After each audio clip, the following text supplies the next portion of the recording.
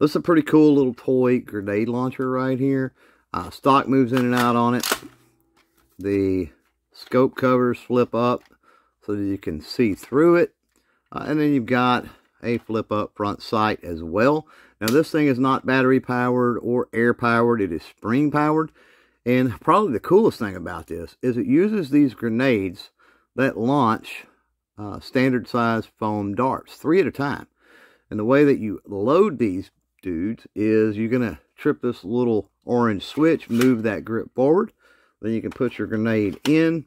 And you want to close it really lightly because the way that you cock this thing to fire is to pull it all the way back like so.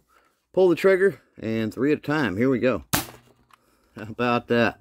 Really neat little toy grenade launcher for sure.